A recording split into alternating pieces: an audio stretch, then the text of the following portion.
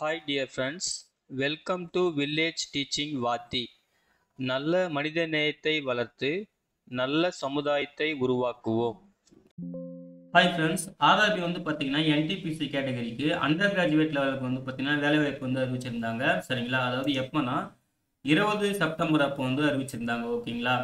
அதுக்கப்புறம் வந்து பார்த்தீங்கன்னா மறுபடியுமே ஃபிசிக்கலி சார்ஜர் பர்சன்ஸ்க்கு வந்து வேகன்சி வந்து ரிவைஸ் பண்ணாங்க. ரிவைஸ் பண்ணிட்டு பழைய நோட்டிஃபிகேஷன் வந்து பார்த்தீங்கன்னா இருபது இருபது அக்டோபர் லாஸ்ட் டேட் அப்படின்னு சொன்னாங்க சரிங்களா?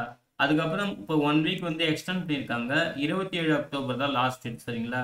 கிட்டத்தட்ட இன்னும் வந்து டூ வீக்ஸ்க்கு டைம் இருக்குது அப்ளை பண்ணுறதுக்கு சரிங்களா? ஸோ அதை பற்றின முக்கியமான உரங்களை பார்க்கலாம். ஸோ லாஸ்ட் டேட்டை பொறுத்த வரைக்கும் இருபத்தி ஏழு அக்டோபர் எல்லா கேண்டிடேட்டுமே நீங்கள் ஃப்ரெஷ்ஷாக அப்ளை பண்ணலாம் சரிங்களா? அப்புறம் ஃபீஸ் பே பண்ணுறதுக்கு ரெண்டு நாள் எக்ஸ்ட்ரா டைம் தராங்க. இருபத்தொம்போது அக்டோபர் வரைக்கும் நீங்கள் பே பண்ணிக்கலாம். அப்ளிகேஷன் கரெக்ஷன் பண்ணுறதுக்கு வந்து பார்த்தீங்கன்னா முப்பது அக்டோபர்லேருந்து ஆறு நவம்பர் வரைக்கும் ஒரு ஒன் வீக் டைம் தராங்க. நீங்கள் வந்து அப்ளிகேஷன் அப்போ கரெக்ஷன் பண்ணிக்கலாம் சரிங்களா? ஃபிசிக்கலி சார்ஜர் பர்சன்ஸ்க்கு வந்து பார்த்தீங்கன்னா ஏற்கனவே அப்ளை பண்ணவங்களுக்கு மட்டும் அவங்க போஸ்ட் ப்ரிஃபரன்ஸை வந்து நீங்கள் வந்து மாடிஃபிகேஷன் பண்ணிக்கலாம். எந்த ஃபீஸும் பே பண்ணாமல் சரிங்களா? இருபத்தி ஏழு அக்டோபர் வரைக்கும் சொல்லியிருக்காங்க ஓகேங்களா? அப்புறம் என்டிபிசி அண்டர் கிராஜுவேட் லெவலுக்கு வந்து பார்த்தீங்கன்னா மொத்தம் நாலு கேட்டகரி போஸ்ட்டு சரிங்களா? அதை பற்றின முக்கியமான விவரங்களை பார்க்கலாம். ஸோ ஓவராலாக வந்து பார்த்தீங்கன்னா மூவாயிரத்தி நானூற்றி நாற்பத்தஞ்சு வேகன்சி அதாவது இந்தியா முழுவதும் ஓகேங்களா? இந்த நாலு போஸ்ட்டுக்கும் சேர்த்து சரிங்களா? அதுக்கப்புறம் வந்து நம்ம சென்னை ஸ்கூலுக்கு வந்து ஒவ்வொரு கேட்டகரிக்கும் என்னென்ன வேகன்சி சொல்லிட்டு பார்க்கலாம்.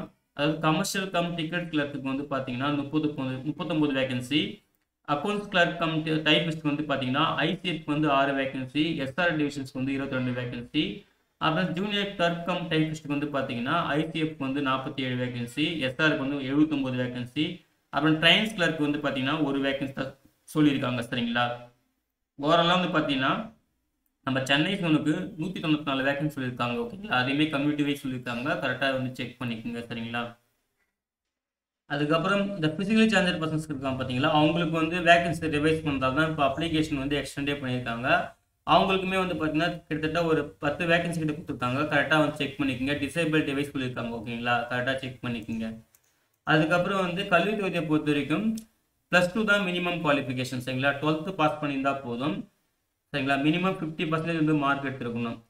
அதே போல் இந்த டைப்பிஸ்ட் இருக்குது பார்த்தீங்களா accounts clerk cum typist third sorry second third இதுக்கு மட்டும் வந்து பார்த்தீங்கன்னா நீங்கள் வந்து கண்டிப்பாக டைப்பிங் சர்டிஃபிகேட் வந்து முடிச்சிருக்கணும். இங்கிலீஷ் இல்லைனா ஹிந்தியில் ஓகேங்களா அப்போ தான் உங்களுக்கு வந்து ப்ரிஃபரன்ஸ் கிடைக்கும் அப்படின்னு சொல்லியிருக்காங்க. மற்றபடி குவாலிஃபிகேஷன் வந்து பார்த்தீங்கன்னா டுவெல்த்து சரிங்களா? ப்ளஸ் டூ முடிச்சிருந்தா போதும். அதே போல் மெடிக்கல் ஃபிட்னஸ் இந்த மெடிக்கல் ஸ்டாண்டர்டுமே பார்த்துக்குங்க A three B two C டூன்னு சொல்லிட்டு. ஏன்னா ஒவ்வொரு போஸ்ட்டுக்கும் வந்து பார்த்தீங்கன்னா மெடிக்கல் ஸ்டாண்டர்ட் இருக்கும். A A three C two B two அப்படின்னு சொல்லிட்டு. இது ரொம்ப ரொம்ப முக்கியம். சரிங்களா? ஏன்னா மெடிக்கல் எக்ஸாமுமே இருக்கும். ஏஜ் லிமிட் பார்த்தீங்கன்னா மினிமம் வந்து பதினெட்டு வயசு மேக்ஸிமம் முப்பத்தி மூணு வயசுன்னு சொல்லியிருக்காங்க.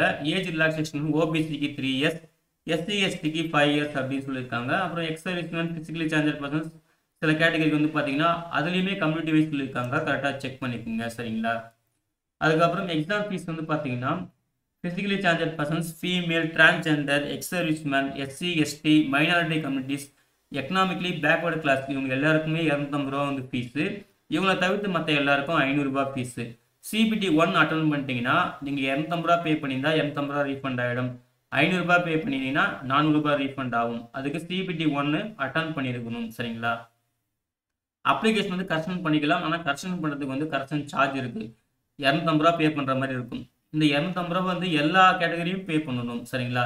ஸோ ஃபஸ்ட் டைம் அப்ளை பண்ணும்போது மிஸ்டேக் இல்லாமல் அப்ளை பண்ணிக்கோங்க. அதுக்கப்புறம் வந்து பார்த்தீங்கன்னா ரெக்குவயர்மெண்ட் ப்ராசஸ் அதாவது எத்தனை ஸ்டேஜ் இருக்கும் ஓகேங்களா?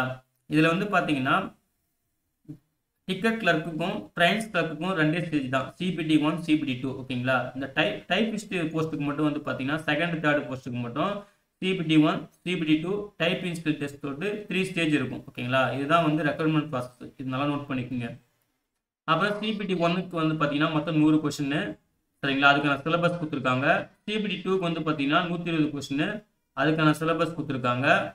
ராங்காக ஆன்சர் பண்ணிங்கன்னா ஒன் பை த்ரீ மார்க் வந்து ரெடியூஸ் பண்ணுவாங்க. அதே போல் சிபிடி ஒன்னுக்கும் சிபிடி டூக்கும் சேர்த்து அதாவது காமனாக ஓகேங்களா சேர்த்துக்கிட்டது காமனாக யூஆருக்கு வந்து முப்பது நாற்பது சதவீதம்.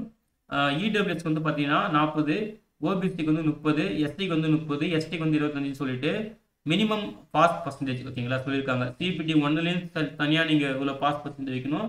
சிபிடி டூலையும் தனியாக இவ்வளோ பாஸ் பர்சன்டேஜ் வைக்கணும் சரிங்களா? நீங்கள் சிபிடி ஒன்று கிளியர் பண்ணால் தான் சிபிடி டூக்கு போக முடியும். ஸோ அது வந்து மினிமம் குவாலிஃபைங் பர்சன்டேஜ் ஓகேங்களா? நோட் பண்ணிக்கோங்க. அதுக்கப்புறம் computer based typing skill test இருக்கும். அதுக்கான கைட்லைன் சொல்லியிருக்காங்க. அதையும் செக் பண்ணிக்கோங்க. அப்புறம் டாக்குமெண்ட் வெரிஃபிகேஷன் நடக்கும் அப்படின்னு சொல்லியிருக்காங்க. அப்ளை பண்ணுறதுக்கான கைட்லைன் கொடுத்துருக்காங்க. என்னென்ன டாக்குமெண்ட் வேணும்? என்ன சைஸில் என்ன ஃபார்மேட்டில் இருக்கணும் அப்படின்னு சொல்லிட்டு. அதுக்கப்புறம் ஹால் டிக்கெட் பற்றி நாங்கள் எஸ்எம்எஸ் இமெயில் வெப்சைட் மூலயமா இன்டிமேட் பண்ணுவோம். அஃபிஷியல் வெப்சைட் மட்டும் இப்போ செக் பண்ணுங்க அப்படின்னு சொல்லியிருக்காங்க. டாக்குமெண்ட் வெரிஃபிகேஷன் வந்து பார்த்தீங்கன்னா இந்த வெப்சைட்டில் ஆர்ஆர்பி டிவி டாட் இன் இந்த போர்ட்டல் வந்து பார்த்தீங்கன்னா நீங்கள் நாங்கள் வந்து இன்டிமேட் பண்ணுவோம். அதுக்கப்புறம் நீங்கள் இந்த போர்ட்டல் வந்து செக் பண்ணிகிட்டே இருங்கன்னு சொல்லியிருக்காங்க. அப்புறம் ஹெல்ப்லைன் நம்பர் கொடுத்துருக்காங்க. நம்ம சென்னை சிவனுக்கு வந்து ஹெல்ப்லைன் நம்பர் கொடுத்துருக்காங்க. கரெக்டாக செக் பண்ணிக்கோங்க. உங்களுக்கு ஏதாவது அப்ளிகேஷன் ரிலேட்டாக டவுட் இருந்துச்சுன்னா அந்த நம்பருக்கு நீங்கள் வந்து கால் பண்ணி டவுட் வந்து கிளியர் பண்ணிக்கலாம். சரிங்களா? இவ்வளோதான் friends RRB NTPC under graduate level ஓகேங்களா அது இந்த வேலைவாய்ப்புக்கான முக்கியமான விவரங்கள் ஓகேங்களா ஸோ அப்ளிகேஷன் வந்து இன்னமும் ஓப்பனில் இருக்குது இன்னும் ஒரு டூ வீக்ஸ் டைம் இருக்குது ஸோ மேக்ஸிமம் யாரெல்லாம் ஷேர் பண்ண முடியுமோ ஷேர் பண்ணுங்கள் சப்போஸ் யாராவது ஒருத்தருக்காவது யூஸ்ஃபுல்லாக இருக்கும். ஓகேங்களா? ஓகே ஃப்ரெண்ட்ஸ் இந்த வீடியோ பிடிச்சிருந்தா லைக் பண்ணுங்கள் மறக்காமல் உங்கள் ஃப்ரெண்ட்ஸுக்கு ஷேர் பண்ணுங்கள் அப்ளை பண்ணுற எல்லாருக்கும் wish you all the best thank you